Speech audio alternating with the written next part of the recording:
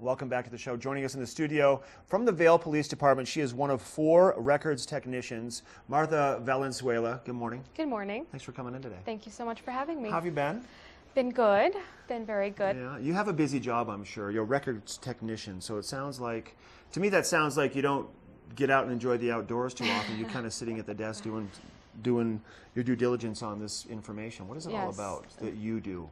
Um, you know, we handle a lot of different tasks um, in records. A lot of the records role is approving reports that are coming in from officers and making sure they're ready to go, whether they go to the DA's office or they go to the Department of Revenue.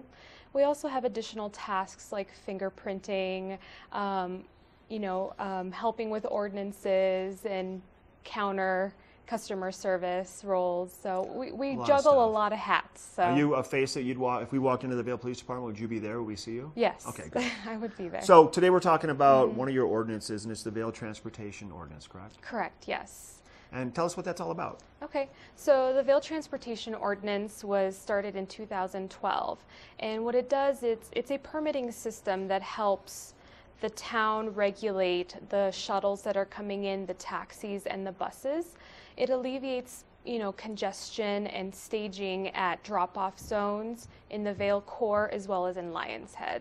So, And it seems like most of the drop-offs that we see in the Mm-hmm. buses are at the Vail Transportation Center, but there are times when Mm-hmm. you see vehicles in the village itself that you wonder if they're supposed to be there or not, right? correct. And And- some are and some aren't. Correct, and this helps, you know, that part of it. Um, you know, we definitely have an area at Checkpoint Charlie that for vehicles that are entering, and that the area itself in Lionshead and Vail is, you know, monitored. But this ke- helps keep track of the vehicles that are coming to drop off passengers. Right. Um, it also assures their safety because um, the transportation ordinance does require that they have valid insurance as well as comprehensive liability, automotive insurance, um, and workman's compensation. So it's also for the passenger's safety if anything were to happen. And there's oh, usually, I mean, when, when you have, when there's cars dropping people off Mm-hmm. in the middle of a village, um, on those busy days when there's hundreds of people walking around at any given time,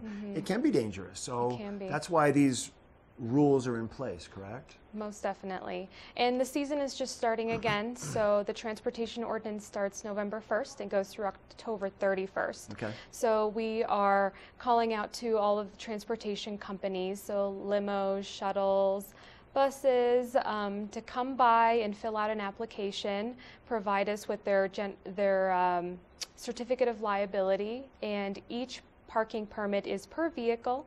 It's fifty dollars for in-county vehicles and twenty-five for out-of-county vehicles. And do you get a lot of new, a lot of new vehicles every year, or is a lot of the same people just repeating the process?